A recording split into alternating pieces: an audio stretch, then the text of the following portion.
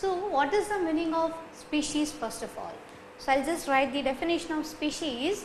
Now,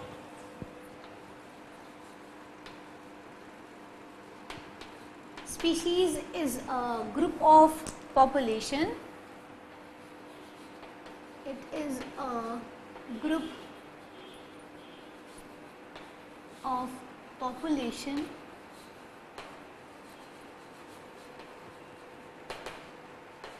which can interbreed.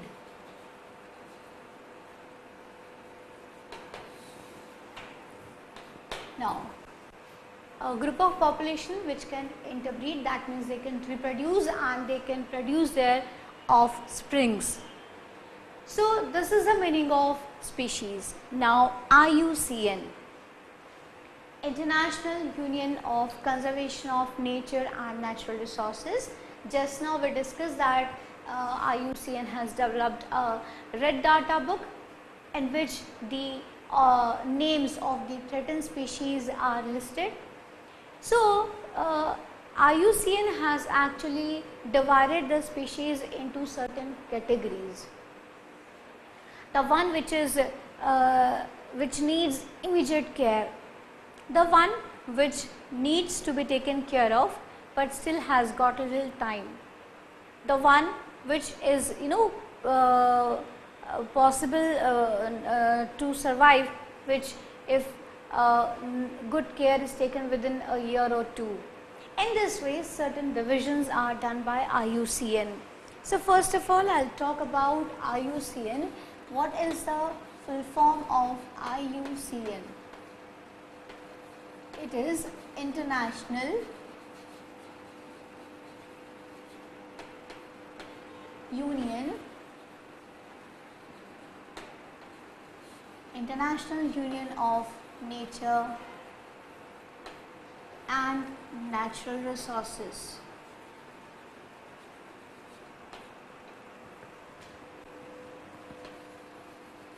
International Union of Nature and natural resources. Now, IUCN has divided the species into certain categories. Now, what all are these categories children? It has into actually three categories IUCN has divided three categories. Now, the first one is endangered species. The first one is endangered species.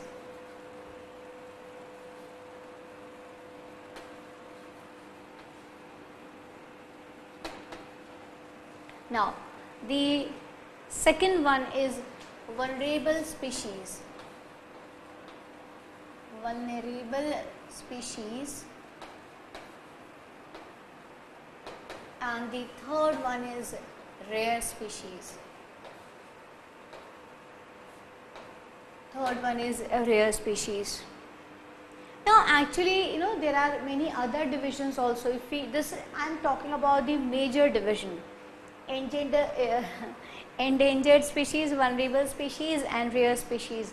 Or is you know a greater uh, division is also uh, there you know the extinct and uh, un, uh, you know the least uh, concern or the data is not available not studied much. Like many uh, are there many divisions are there. But we need to study these three. We need to understand these three. Actually no all these three comes under one which is known as threatened threatened species. So, the threatened species I can say that threatened species is divided into three the endangered, the vulnerable and the rare species. Now, one point again I would like to tell over here that in different books the division is given in different different ways. So, it is not about right and wrong it's about you know the uh, some may think that these things or these uh, these division are important and need to be studied. So, what I thought is important is threatened species which includes the endangered species, vulnerable species and the rare species. Now, when we discuss the first one please come to the first one endangered species now this endangered species are the you know is a species in which the animals are kept which kind of animals are kept which need immediate help immediate help is required the number has reduced to a great extent extent and if certain important and useful measures and steps are not taken, if this will continue for few more months or years, these species will be uh, will come in the category of extinct species. So, these species are the one which are really threatened species, the one which really needs more help. So, endangered species uh, is the one where the number of a particular species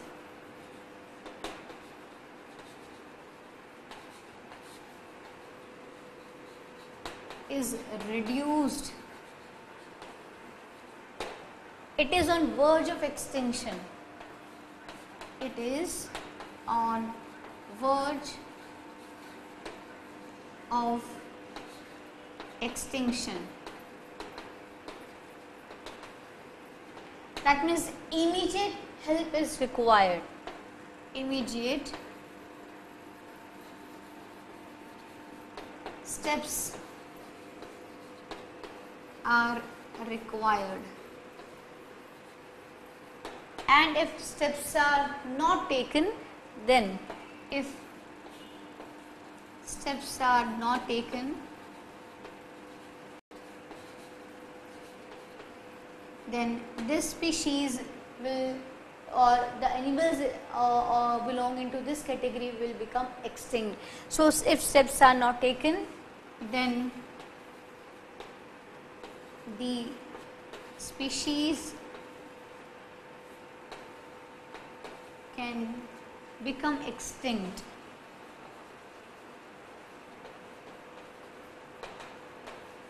That means if the care is not taken, the particular species is going to become an extinct species and then we will be helpless, we won't be able to do anything.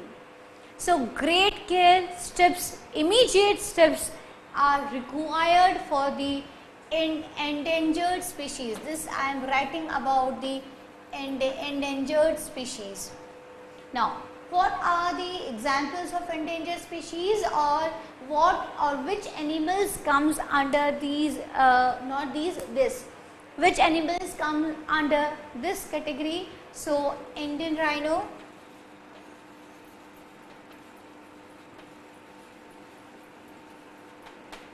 Then asiatic lion and even great indian bustard great indian bustard is a bird great Indian bustard.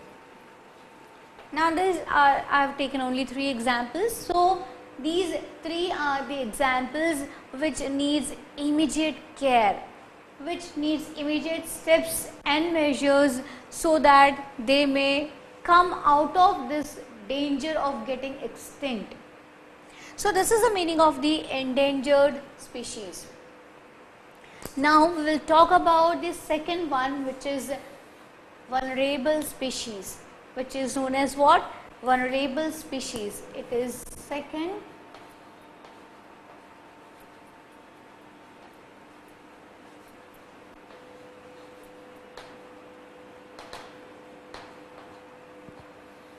Now, these species, uh, if we talk about, I will write the example first.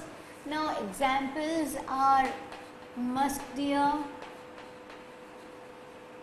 sambar and even the spotted deer.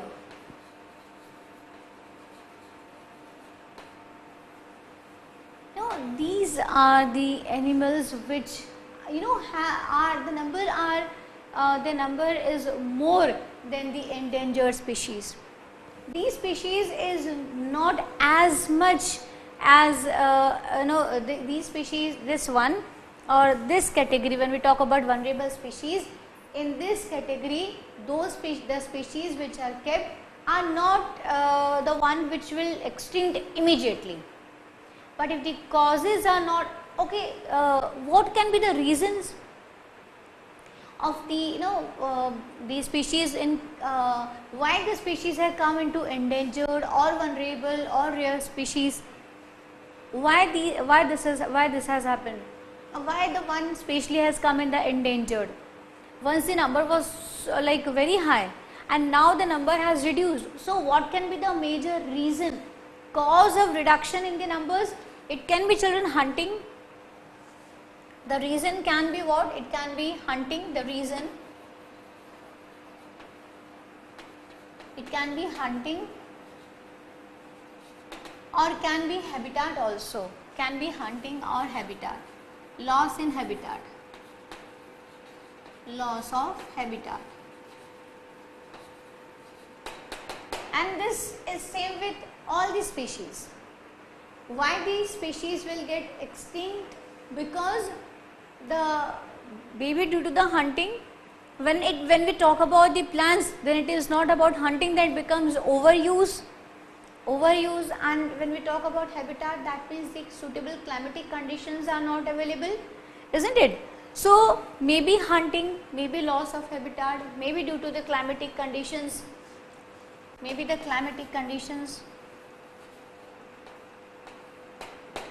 so these can be the reasons for the loss of uh, numbers why the number is getting reduced, why the individuals were more ones and why numbers are decreasing.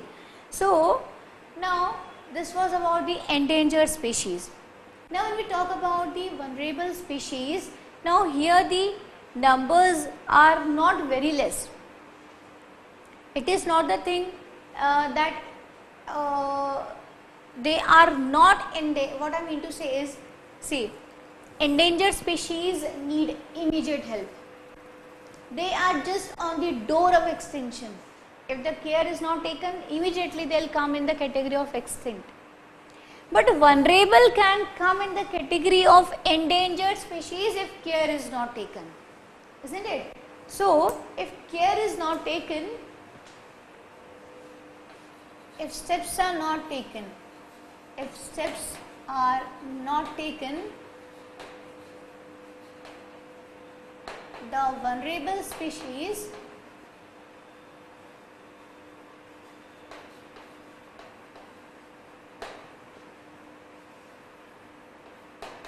the vulnerable species can come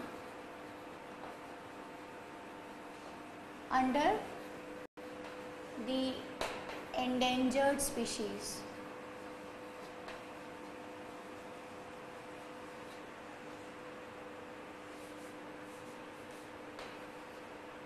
Oh, what I have written over here.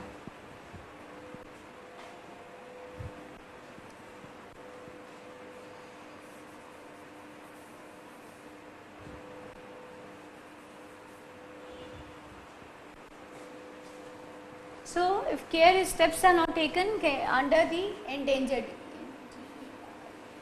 endangered species. That means the individuals numbers are there. They are not in uh, great danger but still require require steps to be taken. Require measures to be taken. Requires help. So that the vulnerable species should not actually go in endangered one. Or is again these endangered already they are uh, in uh, we have got lot of danger about endangered species. They may become extinct and if vulnerable will join endangered species then again there will be a great threat that even these species will come to an uh, extinction. So, what are the vulnerable species and what is the uh, endangered species? Now, endangered is the one which needs immediate care, but vulnerable species is the one which if care is not taken, these species will come in the endangered one. Okay. Now we will talk about the third one which is rare species.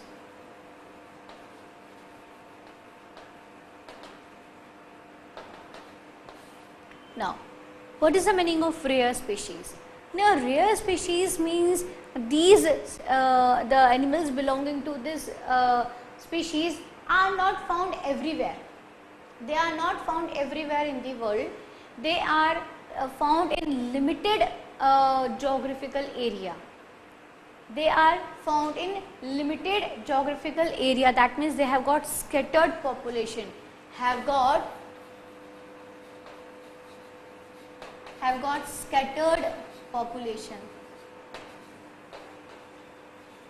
have got scattered population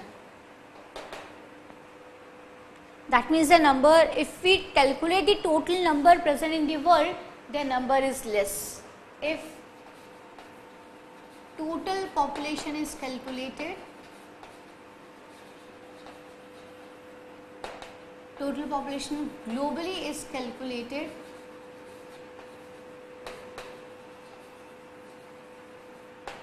it is very less. Okay so rare species means what?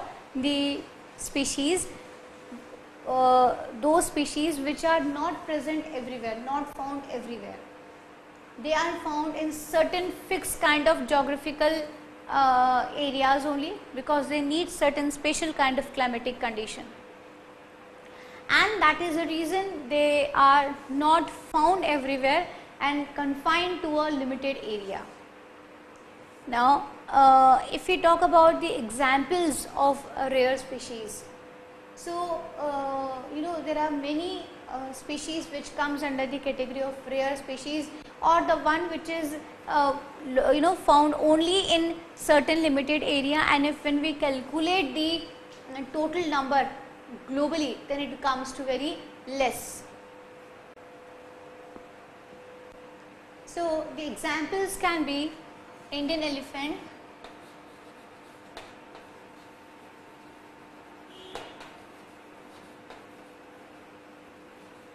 Now, we all know that the number of the elephants are decreasing uh, day by day.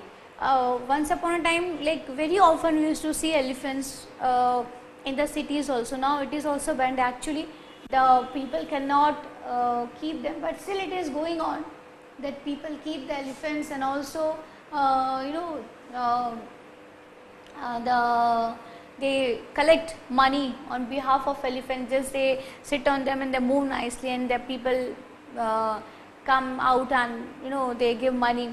Even the elephants are used for carrying uh, loads you know.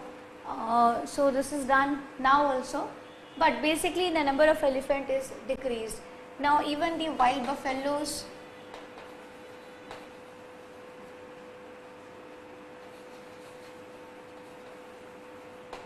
and Asiatic S. So, these species are decreasing uh, actually these are already the one which are which is rare these are not present everywhere they are present in certain areas only. Now, if the care is not taken these rare can come into vulnerable and if the, the care for the vulnerable is not taken then vulnerable can come in endangered species and endangered are what? The one which is uh, on the edge of extinction only. Okay. So now we'll talk about uh, one more species. Now this these are the three which is divided by the IUCN now I will talk about the definition of endemic species. Now what is the meaning of endemic species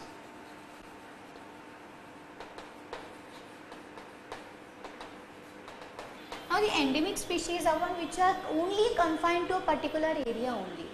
They are not present anywhere else. They are not present anywhere else. Endemic species is the one which the animals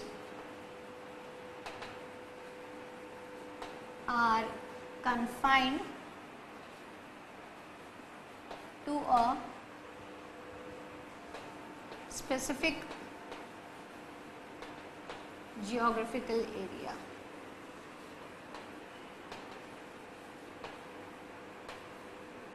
Now, you know there are there are many uh, species which are endemic to India. See, please try to understand the difference between this.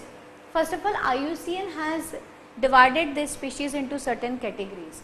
The uh, threatened species has got the species which are endangered, the one which is really uh, on the verge of extinction, vulnerable, which if care is not taken will come in endangered, rare. The main difference has to be understood about rare and endemic. Rare means the one which is present all over the world but in certain limited area.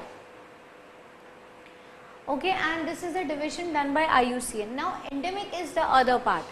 I am just discussing because we are talking about the species now.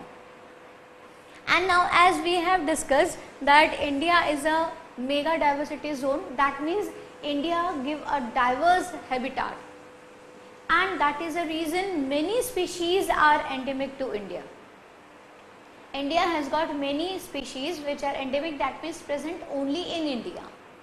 They are not found anywhere else. You know, uh,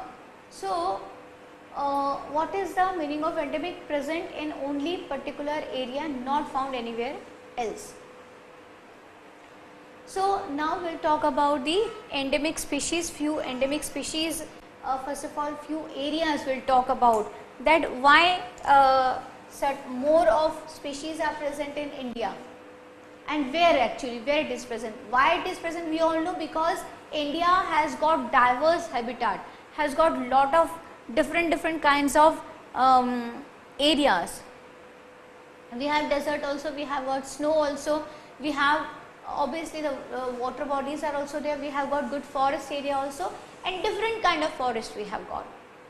So now uh, where these species are found like northeast India, western Ghats,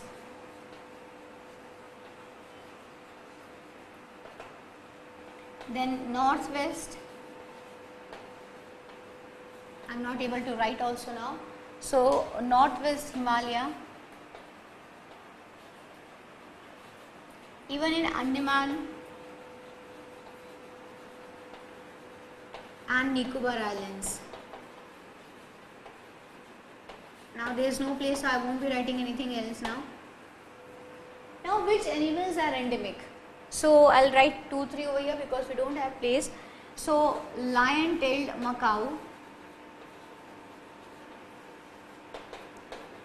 lion-tailed macaque. Okay. Now, the second is Nilgiri langur.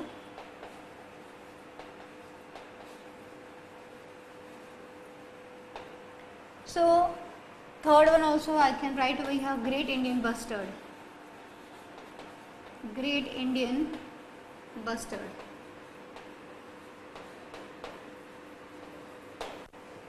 So these species are only found in India. Now you know endemic species, uh, we are very lucky that we have got so many endemic species, many are there. I don't have place to write over there. But you know sometimes what happens like when the endemic species is taken by someone else in other country and introduced there. Then it becomes very difficult sometimes or many a times. You know what happened? That suppose a place is there hmm, and if the one species is brought from the other country and introduced in that country. And what happens? That species uh, becomes a threat for the native species to survive. Are you getting my point? That endemic species are the species which are found only in certain areas. So, we were discussing about all these species and uh, IUCN has divided these species into certain categories on the basis of their availability on the surface of the earth or on the basis of the number of their or the individuals. So, there are certain species which need immediate uh, care are really about to extinct and if the care is not taken then vulnerable will go and endangered Rare is one which is found all over the world but only in certain fixed areas. They are not present everywhere. They are not present everywhere geographically they are present in very limited areas and overall if population is calculated they are very less. Endemic is other thing. These three are the division done by IUCN. Endemic means the one which belongs to only that particular area. Now even the peacock is an endemic species for uh, India. So uh, even the exotic that means uh, when the species uh, belonging to one particular area is taken to the other part. Say for example deer, musk deer is taken to Andaman Nicobar. Basically it was not there. So it became an exotic species and as there is no predator, no one who will kill the natural predator who will kill the uh, deer over there in Andaman Nicobar. So what they are doing, what deers are doing, they are competing um, because the number has increased like anything. So they are not only destroying the forest but they are also destroying the crops and the uh, they are you know uh, struggling among themselves for they are competing among themselves for space, for breeding and in all these things. So a species you know when the natural predator is not there then again uh, some other reason uh, develops and the existence uh, comes in uh, danger. There are many examples where these species are taken from one place to another and sometimes the native species comes in danger. So, this is all about the uh, species that what is a species? A species is a group of the population which can interbreed and can reproduce and then the division made by the IUCN. Now, we will talk about uh, certain more points and uh, please note these points. Now, we are on the last part of the topic and uh, this I will start with a question that when so many things we know, we know that wildlife has to be conserved, we know that the animals and many plants and animals have come under the category of endangered animals or species list. Then why don't we do so? Why don't we care? Why don't we take any steps? So uh, even the Indian government takes lot of care for that. As we have discussed that the project Tiger is one of the biggest example of the success of the government of India. Or but still there are many things which still which are going on. Illegal hunting is going on and that too on the you know the uh, speed of killing of animals is so high so great that any species can come under the category of extinct or endangered species. Actually the government has made many laws but the need is to follow the laws with you know real zeal needs to uh, need to become very strict when it comes with the wildlife and the forest. So, just we will have a look that what are the different laws which uh, Indian government is working on. What are the different rules uh, for the safeguard of the wildlife. So, I not go in detail, but just will discuss two or three. So, first of all the first is forest preservation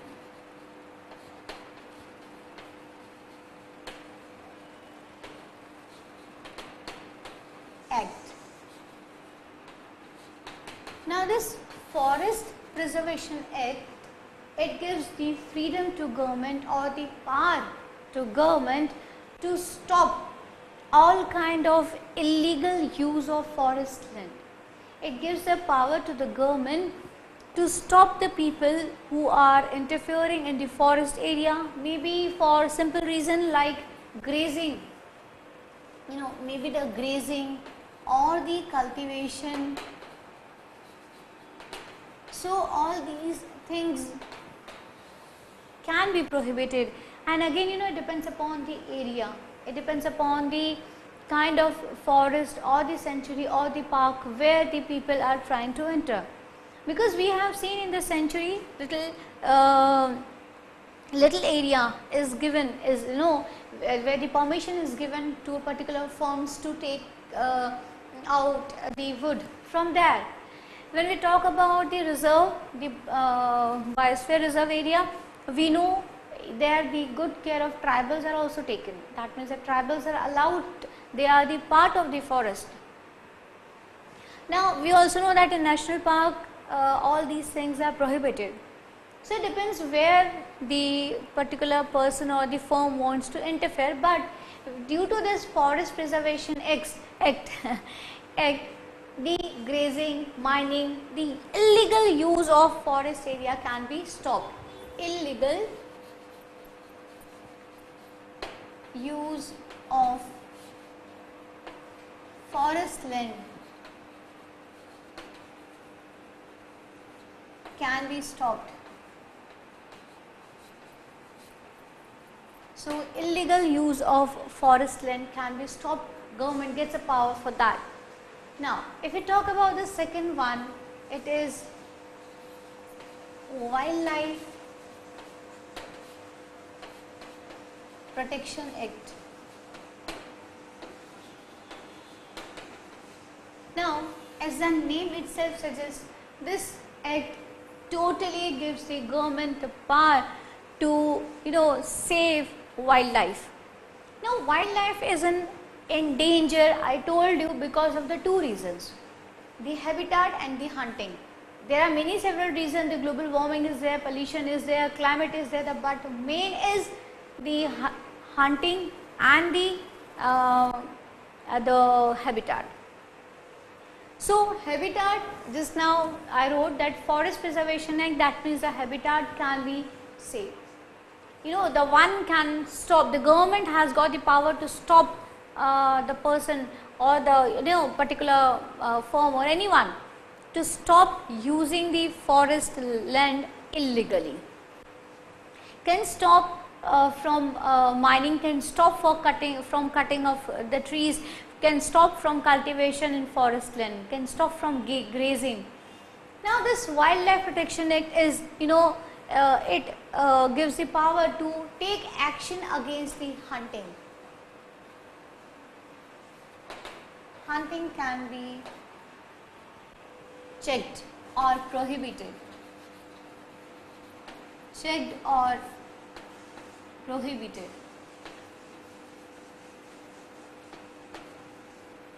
Now we know that uh, you know like when we talk about certain animals the fishes are uh, like uh, what the fishermen will be doing they will be catching the fishes we all know but again there are certain species which are totally banned, cannot be used, cannot be taken off even by the fishermen.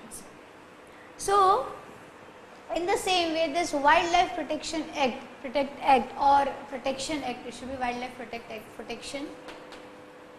So, this Wildlife Protection Act helps the government or gives the power to the government to act against the one who kills the uh, you know animals. Now the third one. Third is Environment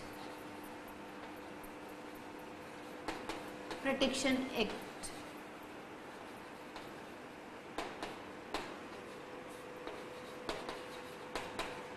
Now this rule or this law uh, helps the uh, government to stop any industry to get settled or to be you know uh, near the forest area. So, the industries the development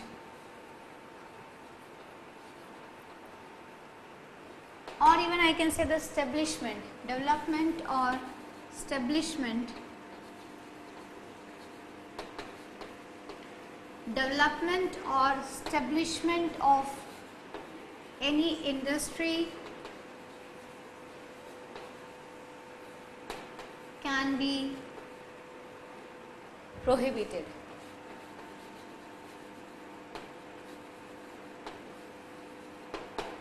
So, with the help of this rule, the government has got the power to stop the industry to be to get established near the forest area because it is not at all allowed. So, there are many other rules also, many other regulations and uh, legal laws, you know, which helps the government to take action against any uh, illegal actions, illegal things going on in the forest or uh, you know any kind of uh, misuse of wildlife. So, I will just discuss the three the Forest Preservation Act which helps the government to take action against the one who is uh, you know using the forest land illegally maybe for the mining or grazing or the cultivation. Second wildlife it is against the hunting mainly I can say and the third one is environment that means for the protection of the environment.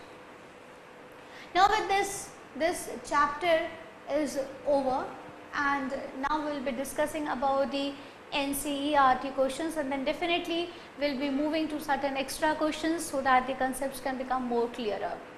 So that is all in this chapter and now we will talk about NCERT question answers. Thank you.